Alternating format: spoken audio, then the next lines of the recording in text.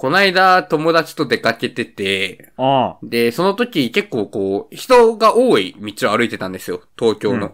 あ。うん。で、その時に普通に友達と話しながら歩いてたら、後ろから肩トントンってされて、え？で、振り向いたら、40代くらいの女性2人で。それで何かなって思って、あれだったら、リュックのところ空いてますよっていう。で、あ、すいません、ありがとうございますって言って、お礼言いながら閉めてたら、うんいやなんかもう、ね基本的にそれで終わるじゃないですか。あ、めちゃめちゃスリ、スリにやってたってこと？違うよ。なんだ、さ っ全部、全部ない。ち、やばいだろ。その、技術にうっとり、幸っていう。ひどすぎる。怖くて。